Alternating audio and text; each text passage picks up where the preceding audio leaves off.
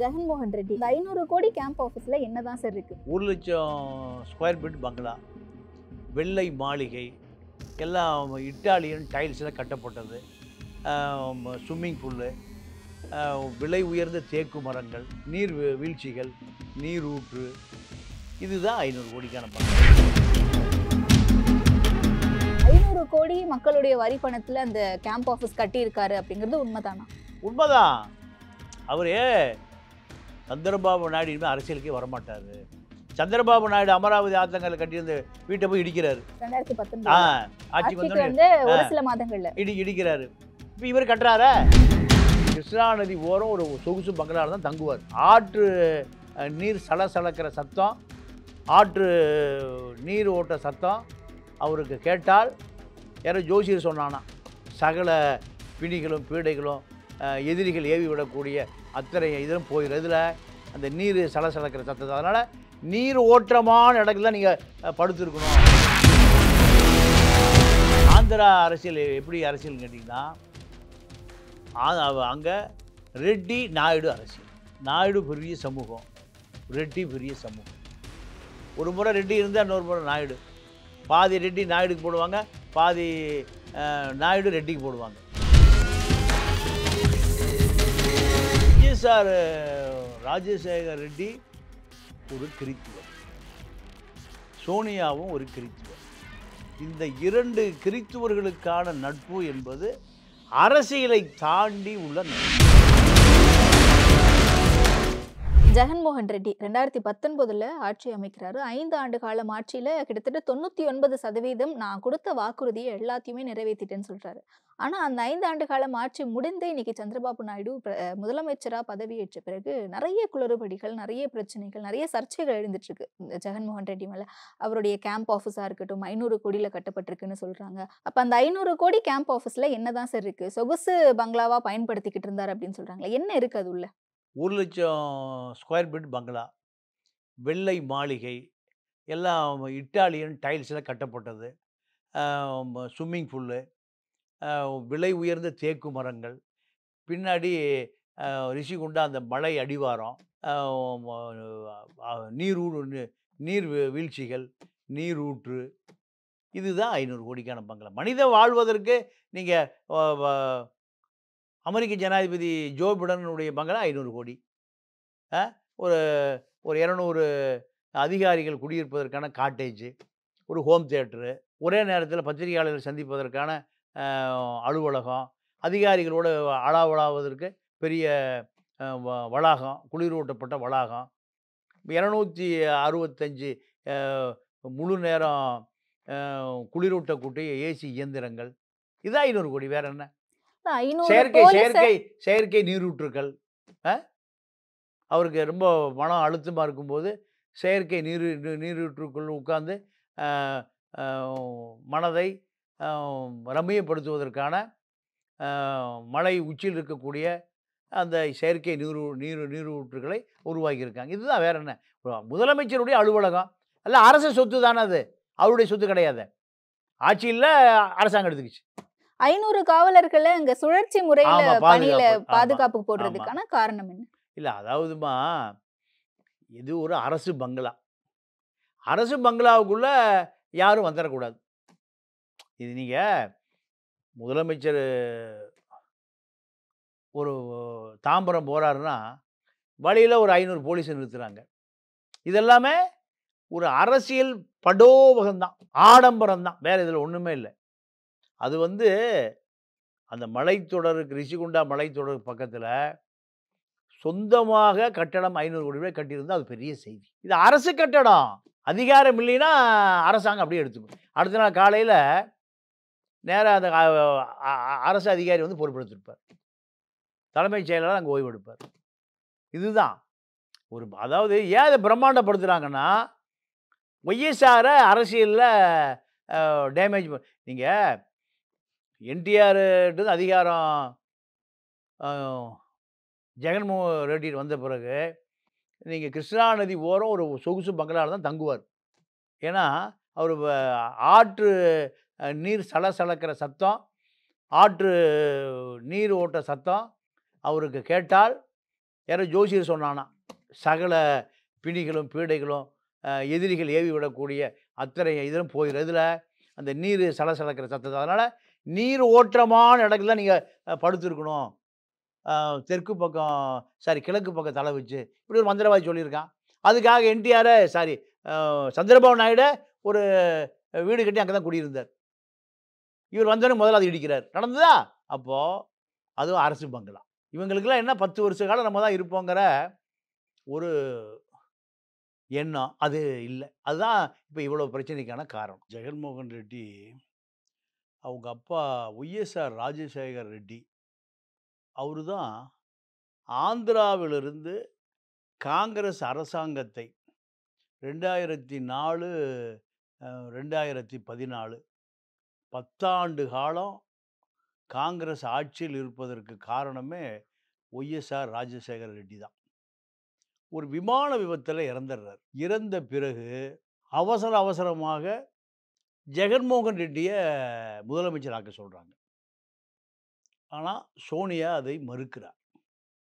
இது இங்கிருந்த பிரச்சனையே உருவாகுது. ஏன்னா ஒய்எஸ்ஆர் ராஜசேகர் ரெட்டி ஒரு கிறித்துவர். சோனியாவும் ஒரு கிறித்துவர். இந்த இரண்டு கிறித்துவர்களுக்கான நட்பு என்பது அரசியலை தாண்டி உள்ள நட்பு. இது குடும்ப நட்பாக வளர்ந்து ஆந்திரானா ஒய்எஸ்ஆர் தான். ஆந்திராவுக்குள்ள ரெண்டாயிரத்தி நாலு ப பதினாலு பத்து ஆண்டு காலம் சோனியா ஆந்திராவுக்குள்ளே எதையுமே கண்டுகொள்வதில்லை. இதுதான் ஒய்எஸ்ஆருடைய மிகப்பெரிய வெற்றி. அவருடைய மரணம் மர்ம மரணமாக மாறுனதுக்கு என்ன காரணம்னா ரிலையன்ஸினுடைய ஒரு எரிவாயு நிறுவனம். அந்த எரிவாயு நிறுவனத்தை ஒய்எஸ்ஆர் மூட சொல்கிறார் ஆனால் அம்பானி மூட மறுக்கிறார். பஞ்சாயத்து சோனியாட்ட போகுது. சோனியாட்ட போன பிறகு சோனியாவே அதிலிருந்து விலகி சொல்ல விலகி கொள்ள சொல்லுகிறார் ஒய்எஸ்ஆர். அப்படின்னா எவ்வளோ அதிகாரத்தில் இருப்பார்னு பாருங்க. அப்போது அதன் பிறகு தான் அந்த விமான விபத்து நடக்குது. அது ரொம்ப டீப்பான விஷயம். அதுக்குள்ளே போக வேண்டாம். அப்போது முடிந்த பிறகு அவசர அவசரமாக அதே கார்ப்பரேட்டுகள் ஜெகன்மோகனை முதல்வராக்க சொல்கிறாங்க ஆனால் சோனியா முதல்வராக்காமல் ரோசையா நம்ம தமிழ்நாடு ஆளுநராக இருந்த இது போன்ற மூத்த தலைவர்களை அந்த அம்மா முதலமைச்சராக்குது.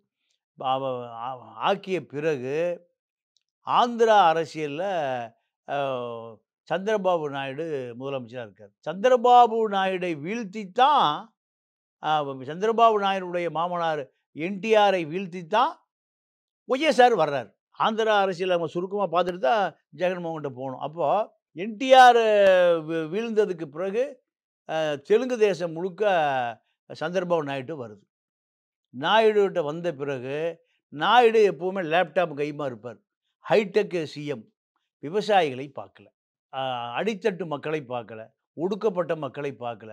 அப்போது இதுதான் சந்திரபாபு நாயுடை புறக்கணித்து விட்டு ஒய்எஸ்ஆர் முதலமைச்சரானார். முதலமைச்சர் ஆவதற்கு காரணம் ஒய்எஸ்ஆர் அடித்தட்டு மக்களுடைய பிரச்சனைகளை பார்த்தார். விவசாய பிரச்சனையை தீர்த்தார். ஒன்று ஒன்றுபட்ட ஆந்திரா.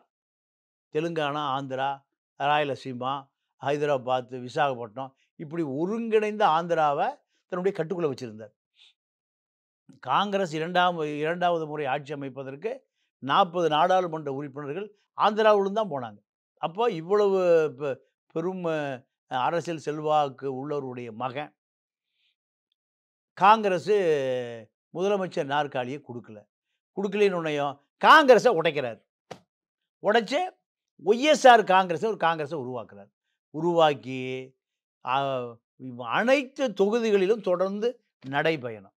காங்கிரஸ் பூரா அப்படியே அழிந்து போய் ஒய்எஸ்ஆர் காங்கிரஸாக மாறுது. ஒய்எஸ்ஆர் காங்கிரஸாக மாறிய பிறகு காங்கிரஸு அடையாளமே இல்லாமல் அழித்தொழித்து ஒட்டுமொத்தமாக காங்கிரஸுங்கிற வாசமே இல்லை. காங்கிரஸ் கட்சி என்ன பண்ணுது? இவர் மீது பல வழக்குகளை தொடுத்து பல ஆண்டு காலம் சிறையில் கிடக்கிறார். ஒன்றரை வருஷம் முதல்ல ரெண்டாவது வழக்கு ஒன்று ஒரு ஒரு வருஷம். இப்படி அவர் இந்த பத்தாண்டு காலத்தில் சிறை வாழ்க்கை தான். ஒன்று பாத யாத்திரை ரெண்டாவது சிறை வாழ்க்கை. இந்த சிறை வாழ்க்கை பாத யாத்திரை ரெண்டும் தான் காங்கிரஸிடமிருந்து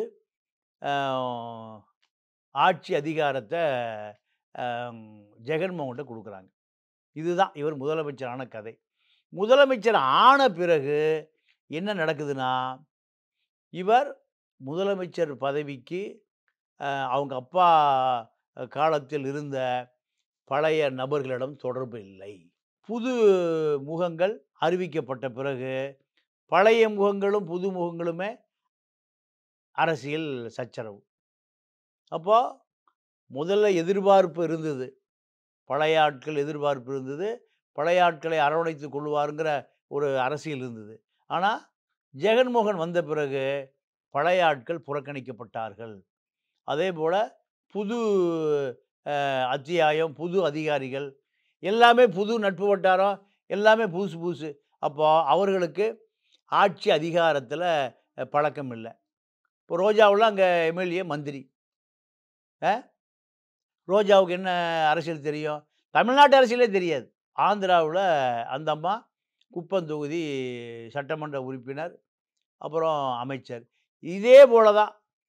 ரோஜாவை போல அமைச்சராக தகுதி இல்லாத அத்தனை பேருமே ஒய்எஸ்ஆர் ராஜசேகர் ரெட்டியினுடைய ஃபாலோவர்ஸ் அத்தனை பேருமே புறக்கணிக்கப்பட்டு புதிய தலைமுறை ஷஃபிள் பண்ணி தானே கொடுத்தாரு அந்த அமைச்சரவையை ரெண்டரை வருஷத்துக்கு ஒரு சிலரும் அடுத்த ரெண்டரை வருஷத்துக்கு ஒரு சிலர் அப்படின்ட்டு. இல்லை அது முழுக்க முழுக்க எல்லாமே புது முகங்கள் தான். பழைய பழைய ஆட்கள் செல்வாக்கூட இருப்பான்ல அவங்ககிட்ட அரசியல் ஜெகன்மோகனுக்கு இல்லாமல் போச்சு. அதுதான் இவருடைய பெரிய பின்னடைவு. இரண்டாவது என்ன பெரிய பின்னடைவுனா அம்மாவும் தங்கச்சியுமே இவருக்கு எதிராக அரசியல் பண்ண ஆரம்பிச்சிட்டாங்க. இது இரண்டாவது பின்னடைவு. நீங்கள் ஆந்திரா முழு தொகுதிகளுமே ஒய்எஸ்ஆர் குடும்பம் எதிரெதிராக நிற்கிது அம்மாவும் தங்கச்சியும் அண்ணனுக்கு எதிராக நிற்கிது அப்போது அந்த அரசியல் எப்படி செல்லுபடியாகும்? சாதாரணமாக ஒரு குடும்பம் ஒட்டுமொத்தமாக போய் ஓட்டு கேட்டால் ஒய்எஸ்ஆருடைய வாக்கு அப்படியே வரும். ஒய்எஸ்ஆருடைய செல்வாக்கு தான் ஜெகன்மோகன் ரெட்டி. அதுதான் ஒய்எஸ்ஆருடைய மனைவி மகள். இரண்டு ஒரு குடும்பம் ரெண்டாக பிரிஞ்சுதுன்னா அப்போ ஆதரவாளர்கள் ஆந்திரா முழுக்க ரெண்டாக பிரிகிறாங்க நீங்கள் திமுக உடஞ்சிது. தொண்ணூற்றி மூ மூணில் ஒருக்கா எழுபத்தி ரெண்டில் ஒருக்கா. எம்ஜிஆர் பாதி பேரை கூட்டிகிட்டு போயிட்டார். அதிலிருந்து மீண்டு வருவதற்கு கருணாநிதிக்கு பத்தாண்டு காலம் எம்ஜிஆர் மறைவு வரைக்கும் காத்திருக்க வேண்டியதாக இருந்தது. எழுபத்தி ஏழு எம்ஜிஆர் உடைச்ச அதிமுக எண்பத்தி ஏழில் எம்ஜிஆர் மரணத்திற்கு பிறகுதான் கருணாநிதிட்டு அரசியலே மீண்டும் வருது. எண்பத்தி ஏழுலேருந்து ரெண்டு வருஷம் ஆளுநர் ஆட்சி. எண்பத்தி ஒம்போதில் திமுகவே முடிஞ்சு போச்சுன்னு ஜாஜே உடஞ்சி போச்சு. திமுக கோமாக்கு போயிடுச்சு காங்கிரஸ் முதலமைச்சராக மூப்பனாரை முன்னிறுத்துது. அதில் தான் திமுக மீண்டும் வருது. அதே கதை தான் ஜெகன்மோகன் ரெட்டி கதை. கட்சியை ரெண்டாக உடைச்சது யாருன்னா குடும்பம் தான். எங்கே எங்கே பார்த்தாலும் ஆடம்பரம் இப்போ இப்போ படோபகரம் ரிஷிகொண்டாவில் ஐநூறு கோடி ரூபாய் கேம்ப் ஆஃபீஸ் இது ஆந்திரா மக்கள் மூ முழுக்க பார்க்குறான் விவசாயி தற்கொலை பண்ணுறான் அடித்தட்டு பொருளாதாரம் போய் சேரல. அரசு இயந்திரம் கீழ்மட்டத்துக்கு இருப்பவனுக்கு எந்த பலனும் இல்லை. அப்போது முழுக்க முழுக்க இது வந்து ஒரு ஆடம்பர அரசாக பார்க்கப்படுகிறது. இந்த ஆடம்பர அரசை யார் விமர்சனம் பண்ணுறா அவன் குடும்பமே விமர்சனம் பண்ணுது. அம்மாவும் தங்கச்சியும் விமர்சனம் பண்ணுறாங்க அப்போது இது இதை இது இதை தாண்டி பவன் கல்யாண் அவர் ஒரு சினிமா பிரபலம். அவரை இழுத்து தன்னுடைய கட்டுப்பாட்டில் வைத்துக்கொள்ள தவறிவிட்டார். ஜெகன்மோகன். அவர் எங்கே போய் சேர்ந்துட்டார்? நாயுடு போயிட்டார். நீங்கள் சிறையில் அடைக்கப்பட்டிருக்காரு நாயுடு. சந்திரபாபு நாயுடு பார்க்க போகிறாரு சிறைக்குள் அனுமதிப்பதற்கு ஒரு பெரிய ப- ப- அரசியல் பரபரப்பு தேவையா? சந்திக்கவே விடலை. அப்போ அவர் மேலும் சினிமாக்காரன் சொன்னால் பற்றிக்கும் ஆந்திராவில் தேவுடு தேவுடுன்னு நீங்கள் என்டிஆர் இருந்து இருந்த காலத்தில் அவரை திருப்பதி வெங்கடாஜலபதியினுடைய மறு உருவமாக பார்க்கக்கூடிய மக்கள் ஆந்திரா மக்கள். நடந்து போனால் அந்த மண் எடுத்து பூசிக்குவோம் அப்போது குடும்பமே ரெண்டாக பிரிஞ்ச பிறகு தான் என்டிஆரே காணாமல் போயிட்டார். என்டிஆர் லட்சுமி பார்வதின்னு ஒரு பேராசிரியர் வாழ்க்கை சுயசரி எழுதிருக்கா வந்ததை தன்னுடைய இரண்டாவது மனைவி ஆக்கிட்டார். ஆக்கின பிறகு குடும்பம் முழுக்க பிரச்சனை பண்ணுது. குடும்பம் முழுக்க பிரச்சனை பண்ண பிறகு மூத்த மகள் புவனேஸ்வரியனுடைய கணவர் தான் சந்திரபாபு நாயுடு. சந்திரபாபு நாயுடுக்கு பின்னாடி அத்தனை குடும்பம் நிற்கிது நின்ற பிறகு என்டிஆரை காணாமல் போயிடுறாரு. கட்சி பூரா யார்கிட்ட வந்துடுது என்டிஆர் உயிரோடு இருக்கிற பொழுது ஜெயபிரதா தல ஜெயபிரதா தான் மாநில ம மகளிர் அணி தலைவி. ஜெயபிரதா உட்பட அத்தனை பேர் யார்கிட்ட வந்துடுறாங்க? சந்திரபாபு நாயுடு வந்துடுறாங்க. கடைசியாக கட்சியை ஆரம்பித்த ஸ்தாபித்த ஸ்தாபர் என்டிஆர் கட்சி கை கட்சியும் கைவிட்டு போகுது ஆட்சியும் கைவிட்டு போகுது. கடைசியில் மரணத்தை தழுவுகிறார். இதே நிலைமை தான் எங்கே மீண்டும் எப்போ வருதுன்னா குடும்பமே குழப்பம் பண்ணுது. இதை சரி செய்ய ஜெகன்மோகன் ரெட்டி தவறிவிட்டார் இல்ல இப்ப ருஷிகொண்டாவுல இருக்கக்கூடிய அந்த ஐநூறு கோடி மதிப்பிலான அந்த வீடு கேம்ப் ஆபீஸ் அப்படிங்கிறது எந்த நோக்கத்துக்காக கட்டினாங்க அப்படிங்கறது ரகசியமாவே வச்சிருக்காங்கல்ல. ரகசியம்லாம்? இல்லை. மீடியா பூரா ஒரு கட்டுப்பாடு இருக்கு. மீடியா இதை வெளியே எடுக்கிறது பெரிய விஷயமே இல்லை. மீடியா நீங்கள் தமிழ்நாட்டிலையும் மீடியா அப்படித்தான் இருக்கு. இந்தியா பூரா மீடியா அப்படித்தான் இருக்கு. மீடியாவுக்கு மத்திய அரசு மாநில அரசு பல ஆயிரம் கோடிகள் விளம்பரமாக அள்ளி கொடுக்குது. பத்திரிகை முதலாளிகள் பூராமே ஒரு பெரிய தொழிலதிபர்கள் கார்ப்பரேட் தொழிலதிபர்கள். அரசுக்கு எதிராக எந்த செய்தியும் வராது. ஆந்திராவினுடைய நிதிநிலை வந்து ரொம்ப மோசமா இருக்கு கடன்ல இருக்கு அப்படின்னும் போது இந்த ஐநூறு கோடி மக்களுடைய வரி பணத்துல அந்த கேம்ப் ஆபீஸ் கட்டி இருக்காரு அப்படிங்கிறது உண்மைதானா? உண்மைதான். அவரு சந்திரபாபு நாயுடு இனிமேல் அரசியலுக்கே வரமாட்டார். சந்திரபாபு நாயுடு அமராவதி ஆத்தங்கரை கட்டியிருந்த வீட்டை போய் இடிக்கிறாரு. ரெண்டாயிரத்தி பத்தொன்பது வந்து ஒரு. சில மாதங்கள்ல. இடி இடிக்கிறாரு. இப்போ இவர் கட்டுறாரா? ஆந்திரா அரசியலை பொறுத்த வரைக்கும் ஆந்திரா தமிழ்நாட்டில் இல்லாத ஒரு அரசியல் ஆந்திராவில் இருக்கு. என்னன்னா நக்சல்பாரி அரசியல். நக்சல்பாரிகள் ஒரு பத்து மாவட்டங்களை அதாவது தெலுங்கானா ஆந்திராவில் பத்து மாவட்டங்களை இன்னும் க கையில் வச்சுருக்கான். எந்த மூதேவிகளும் பத்திரிக்கை செய்தி போடவே மாட்டான். என்கவுண்டர் நடந்துகிட்டே இருக்குது நம்ம வீரப்பனை பிடிச்ச விஜயகுமார் கோப்ரா படையை நாங்கள் ஒரு படையை வச்சு நக்சல்களை பூராத்தி கட்டுப்படுத்த பார்த்தாரு. கட்டுப்படுத்த முடியல. தெலுங்கானாவில் அஞ்சு மாவட்டம் ஆந்திராவில் அஞ்சு மாவட்டம் பத்து மாவட்டம் இன்றைக்கி நிர்வாகம் அவங்க தான். கலெக்டர் வீட்டுக்குள்ளே உட்காந்து கொண்டி தான் எஸ்பி கேம்ப்லேயே உட்காந்து கொண்டி தான் காவல்துறைக்கும் சிவில் நி- நிர்வாகத்துக்கும் சம்பந்தமே இல்லை. பத்து மாவட்டங்கள் நக்சல்பாரி கட்டுப்பாட்டில் தான் இன்னைக்கு வரைக்கும் இருக்குது அவர்கள் வைப்பதான் சட்டங்க. அப்போது சந்திரபாபு நாயுடு காலத்துலேயும் சரி என்டிஆர் காலத்துலேயும் சரி ஒய்எஸ்ஆர் காலத்துலேயும் சரி நக்சல்பாரிகள் ஒரு அரசியல் செய்து கொண்டே இருப்பார்கள். அந்த அரசியல் இந்த ஜனநாயக அரசியலை விட அது அதிகாரமிக்க அரசியல். தொழிலதிபர்கள் பூரா உங்களுக்கு கப்பம் கொடுத்தே ஆகணும். குவாரி நடத்துகிறவன் பண்ணையார்கள் எல்லாம் யாருக்கு க- கப்பம் கொடுக்கணும்? நக்சல்பாரிகளுக்கு க- க- கப்பம் கொடுக்கணும். இல்லை உசுறு இருக்காது. இதை சந்திரசேகர் ராவும் ஒன்றும் செய்ய முடியல. ஒய்எஸ்ஆரும் பண்ண முடியல. அவர் மகன் ஜெகன்மோகனும் பண்ண முடியல. அப்போது இந்த இந்த அரசியல் ஏன் இருக்குன்னா கம்யூனிஸ்ட் அரசா கம்யூனிஸ்டால் அரசியல் பயிற்றுவிக்கப்பட்டவர்கள். அப்போது ஜெகன்மோகனுடைய அரசியல் அவங்க ரசிக்கலை. அப்பாவுக்கு பெரிய பிரம்மாண்ட சிலை. ஆடம்பரம். இது இது யாருன்னா சொந்த குடும்பமே எக்ஸ்போஸ் பண்ணுது. இப்போ கம்யூனிஸ்ட் அரசியலை விரும்புறாங்க அங்க இருக்கக்கூடிய மக்கள். ஆமா! ஆமா! ஆமா! ஆமா! நீங்க தமிழ்நாடு மாதிரி சினிமா தேட்டருக்குள்ள அரசியலாம் போகல. அங்க கம்யூனிஸ்ட் அரசியல் போயிருக்கு. அதனால நீங்க பவன் கல்யாண் அழுகிறாரு. சந்திரபாபு நாயுடு அழுகிறாரு. என்னை பார்க்க விட மாட்டேங்கிறார். நான் சிறையில் போய் பார்க்க போகிறேங்க பவன் கல்யாண் சொல்கிறார் அவர் ஒரு மு- முன்னாள் முதலமைச்சர். சீனியர் முதலமைச்சர். ஆ? எ- எத்தனை ஆண்டு காலம்? அவர் இருபத்தி ஏழு வயசில் அமைச்சர். எப்போ? காங்கிரஸ் ஆட்சி காலத்தில்.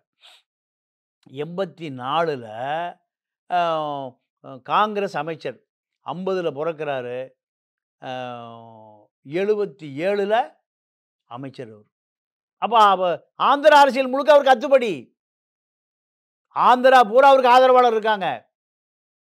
தெலுங்கானா ஆந்திரா பூராமே அவரால் இப்போ மாவட்ட செயலாளராக ஒன்றியமா நகரமாக மந்திரியா எம்எல்ஏவா எம்பியா இப்படி எத்தனை வருஷமா அவர்?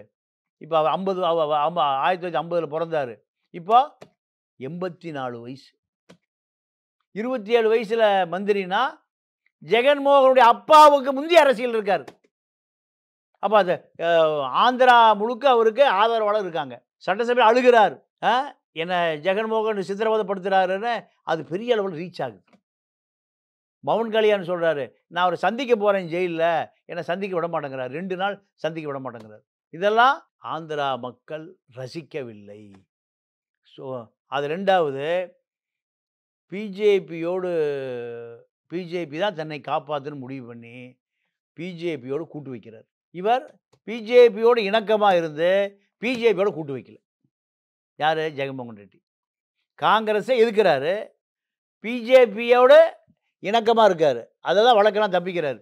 பிஜேபிக்கு ஆதரவு நிலை எடுக்கிறாரு. அதில் தான் நீங்கள் இந்த அஞ்சு வருஷ காலம் எந்த வழக்கும் இல்லை. ஆனால் பிஜேபியோட கூ முந்தி நாயுடு போய் கூட்டு வச்சிட்டார்ல? அது அதை அந்த கூட்டை இவர் வச்சிருக்கணுமா இல்லையா?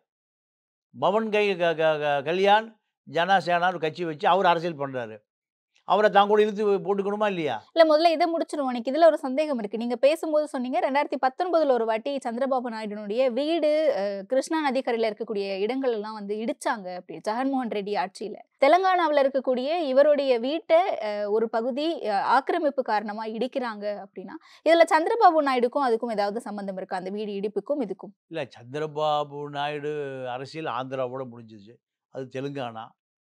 தெலுங்கானா சந்திரசேகர் ராவுக்கும் ஜெகன்மோகனுக்கும் ரிலேஷன்ஷிப்பே இல்லை. இப்ப அங்க ரேவந்த் ரெட்டி தானே சிஎம்மா இருக்காரு. அவர் சொல்லி தானே அந்த வீட்டினுடைய ஆக்கிரமிப்பை இடிக்கிறாங்க. இல்லை இவன் இப்போ காங்கிரஸ் அம்மாவும் சகோதரி காங்கிரஸ் ஒரு நெருக்கமாக இருக்காங்கல்ல. இவர் இவரை பொறுத்த வரைக்கும் வீட்டுக்குள்ளேயும் சண்டை பக்கத்து மாநிலத்துலேயும் சண்டை உள்ள இன்டீரியாவும் சண்டை பவன் கல்யாணம் கூட நெருக்கம் இல்லை இது எல்லாம் தான் அவருடைய அரசியல் வாழ்க்கை முடிவுக்கு வந்தது. அரசியல் என்பது நீங்கள் எதிரிகளையும் அரவணைத்து அருகே வைத்து கொள்ளுவதும் அரசியல். ஆனால் பக்குவம் இல்லாத காரணத்தினால ஜெகன்மோகன் ரெட்டி ஆட்சி இழந்தார். அவர் ஏன் ஆட்சி இழந்தேன்னு அவருக்கு தெரியல. இன்னைக்கு வரைக்கும் அவர் தேம்புறாரு நான் நல்லா தான் ஆட்சி பண்ணேன். ஆனால் ஆட்சி என்பது எதிரிகளே இல்லாமல் செய்வது தான் ஆட்சி. எதிரிகளை உருவாக்கி கொண்டு குடும்பத்துக்குள்ளே எதிரி. தங்கச்சியும் அம்மாவுமே மகன் சரியில்லை அண்ணன் சரியில்லைன்னா மக்கள் நம்புவோம் நம்ப மாட்டானா ஆ? இதுதான். இந்த அரசியலை ஜெகன்மோகன் ரெட்டி செய்ய தவறிவிட்டார் ஆந்திரா அரசியல் எப்படி அரசியல் கேட்டிங்கன்னா அங்கே ரெட்டி நாயுடு அரசியல். நாயுடு பெரிய சமூகம். ரெட்டி பெரிய சமூகம். ஒரு முறை ரெட்டி இருந்தால் இன்னொரு முறை நாயுடு. பாதி ரெட்டி நாயுடுக்கு போடுவாங்க பாதி நாயுடு ரெட்டிக்கு போடுவாங்க. இதுதான் அங்கே அரசியல். அப்போது நாயுடு ச- சந்திரபாபு நாயுடை நீங்கள் சித்திரவதை படுத்த படுத்த படுத்த ரெட்டிக்கு ஓட்டு போட்ட நாயுடுகள் போகிற எங்கே போயிட்டான்? நாயுடு கூட போயிட்டான். நீங்கள் ஒய்எஸ்ஆர் என்ன பண்ணார்?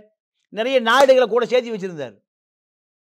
நாயுடுகளை ரெட்டி நாயுடு தான் ஆந்திர அரசியலை. ஒய்எஸ்ஆர் ராஜசேகர் ரெட்டி இருக்க காலத்தில் நிறைய சந்திரபாபுக்கு எதிரான நாயுடுகளை நிறைய பேரை கூட வச்சுருந்தார். எர்ரான் நாயுடுன்னு ஒருத்தர் வச்சுருந்தார். பல நாயுடுகள் இருந்தாங்க. ஆனால் இவர் ஒய்எஸ்ஆர் என்ன பண்ணார்? நாயுடு அரசியலை விட்டுட்டார். அது ஒரு காரணம். நாயுடு அரசியல் விட்டுட்டாரு. தன்னுடைய ரெட்டி அரசியலே பாதி பேர் காங்கிரஸுக்கு போயிட்டான். அவன் இப்போ இந்த இந்த தடவை சீட்டு கொடுத்ததுல எல்லாம் புதுமுகம். பழைய முகமே ஏற்று நிற்க ஆரம்பிச்சிட்டான். அப்புறம் எப்படி ஓட்டு போடுவான்? பழைய முகங்களுக்குன்னு ஒரு செல்வாக்கு இருக்கும். இண்டிவிஜுவல் கெப்பாசிட்டி இருக்கும். உள்ளாட்சி தேர்தல் வந்தால் கட்சியெலாம் அங்கே எடுபடாது. உள்ளாட்சி தேர்தல் எங்கே வந்தாலும் இண்டிவிஜுவல் கெப்பாசிட்டியில் தான் ஜெயிப்பான். யார்?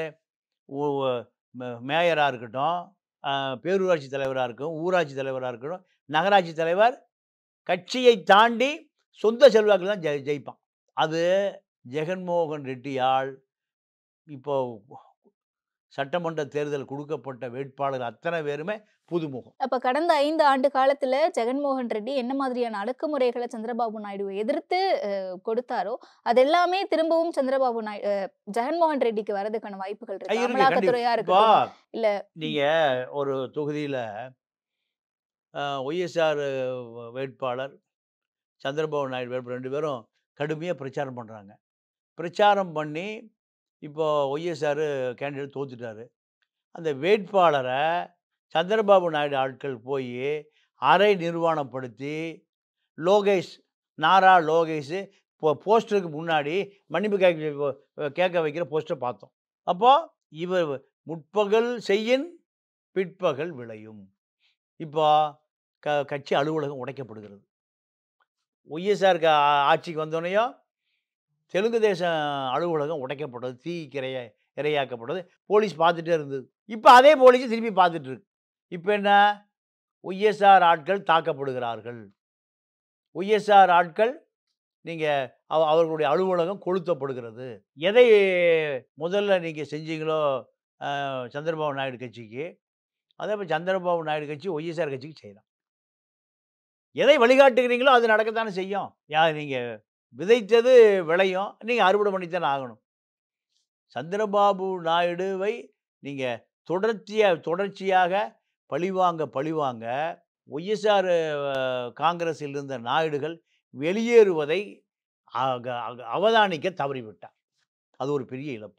அப்ப அந்த ஐநூறு கோடி கேம்ப் ஆபீஸ் என்ன நிலையாகும்? இல்லை அந்த அது ஏதாவது அரசு அலுவலகமாக அறிவிப்பாங்க அவ்வளோதான் அதை இடிக்கிறதுக்குலாம் வாய்ப்பு இல்ல. வாய்ப்பு இல்லை இடிக்க மாட்டாங்க. ஐநூறு கோடி ரூபாய் இடிச்சா இல்ல ஏன்னா அது சுற்றுச்சூழலுக்கு பாதுகாப்பு கிடையாது. சுற்றுச்சூழல் விதிகளை மீறி தான் கட்டப்பட்டிருக்குன்னு சொல்றாங்க. அப்ப அதை இடிச்சிட்டு திரும்பவும் ஏதாவது பண்ணுவாங்களா?